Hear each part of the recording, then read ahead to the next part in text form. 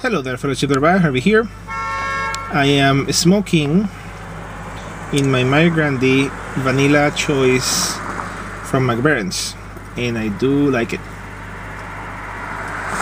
Uh, this is gonna be finally my video response to Jay's January Do Good initiative and I know it's late but that's besides the point. I wanted to make this entry for quite a bit of time and I have several video responses uh, in line. But uh, just yesterday I finished my taking the footage and some pictures that I wanted to show you. And the reason why I couldn't go and I tried to go I was trying to actually from December but then I heard I hurt my back then my ankle then my neck. So everything was working against me.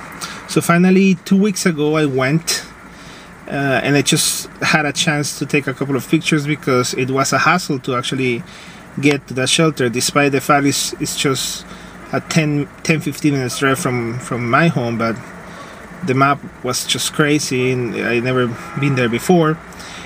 And and then I just had the chance to stay there for half an hour or so.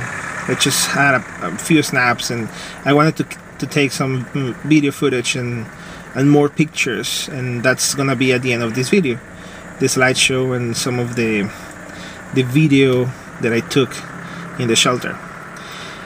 So now as a general comment for for Jay's initiative which I think was fantastic in in in the same lines along the same lines that I saw many entries on on his uh, video I would say that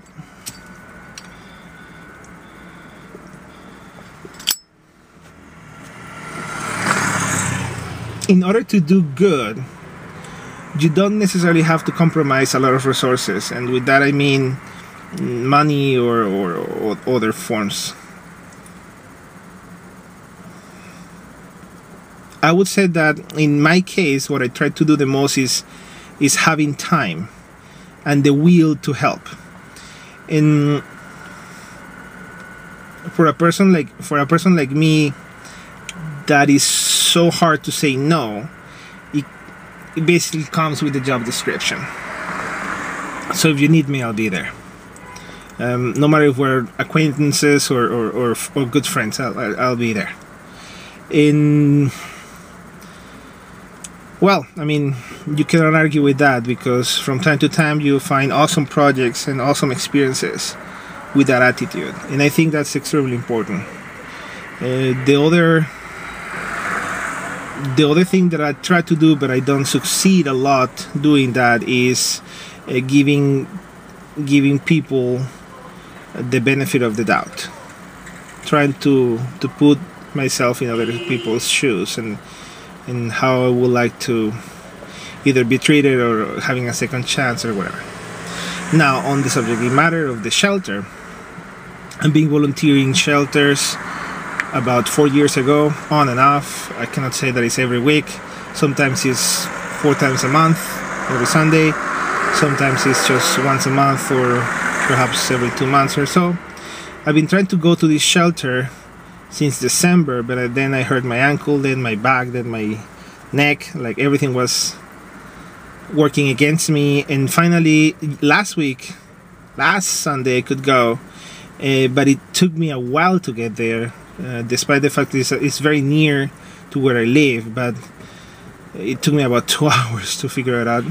So I just stayed there for about half an hour or so, and I just had the chance to take a couple of pictures, and and I wanted to take some video footage and and more pictures. So that's what you're gonna see at the end of, of this entry. Now, this lady that runs this shelter is very close, very near to my heart because she's the one who was uh, who had a shelter when I adopted my first pug.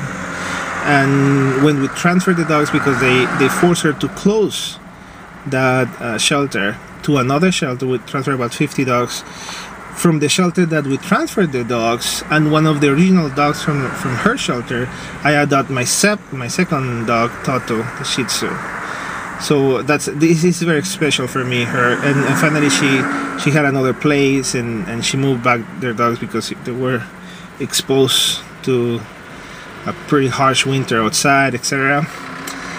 So mm, this is, is is fairly new in the term in terms of um, she hasn't been there for a long time and and she's there basically because other people's help and what we do is we gather a bunch of foreigners every sunday and, and there are plenty of shelters to visit and that's what we try to do. Um, on the sad note this this sunday uh, yesterday one of the dogs um, ran away and, and ran uphill and we were searching for, for, for him about 30 45 minutes I think. I, I, I went uphill and then down and took the car went around that little mountain couldn't find it. Hopefully he he'll show up later on. You'll see in the slideshow uh, a, dog that is biting the um, the leash and he runs free. And I was snapping those shots when actually he ran, free and, and that's when I actually put my camera down and started running trying to catch him.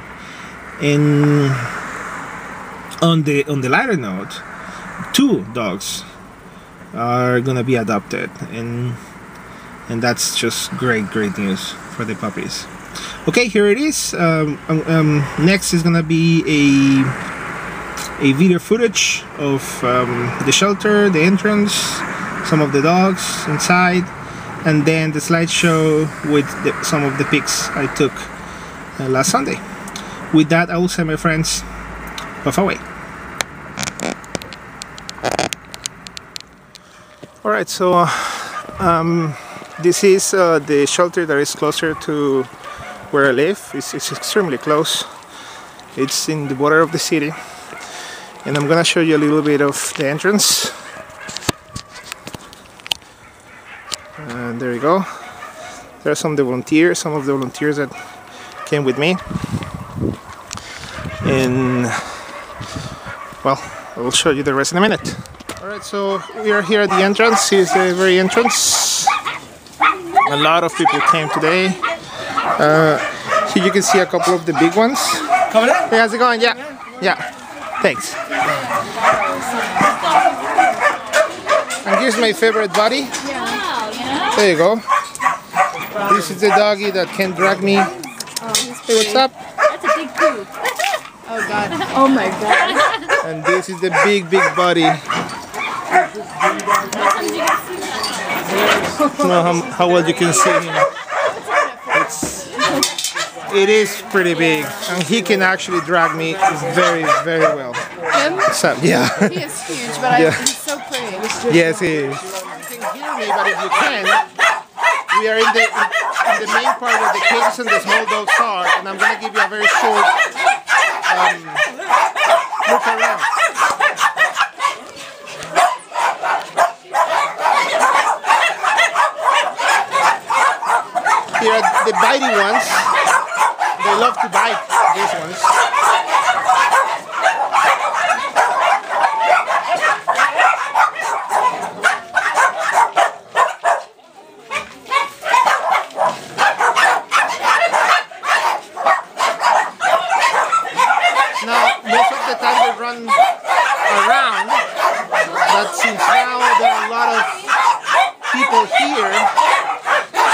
outside,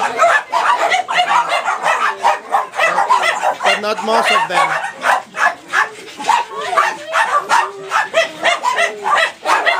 And here you have one that is very special to me. How much you can see him. That's a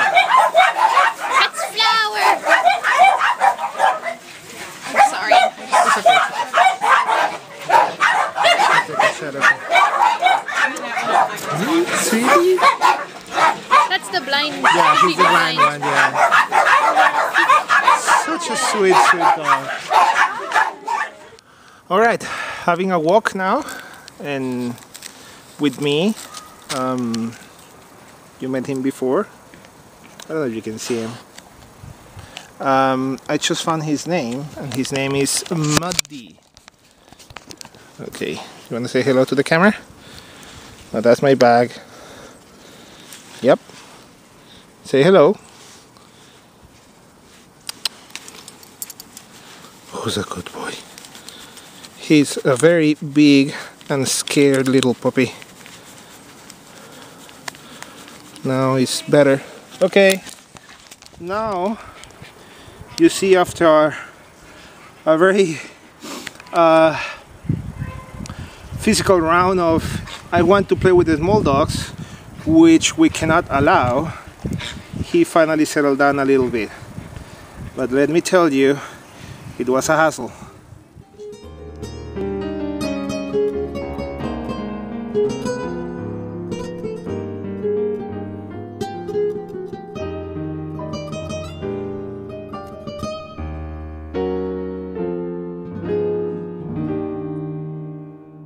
Yo adivino el parpadeo de las luces que a lo lejos van marcando mi retorno.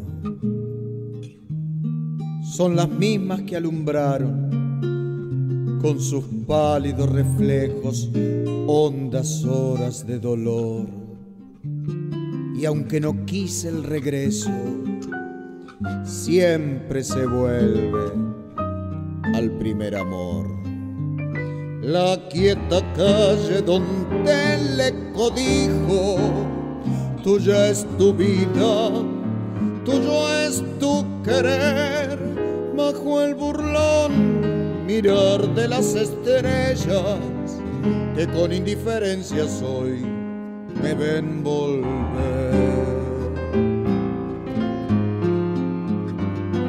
Volver frente marchita, las nieves del tiempo platearon mi cielo. Sentir que es un soplo la vida, que veinte años no es nada, que febril la mirada errante en la sombra.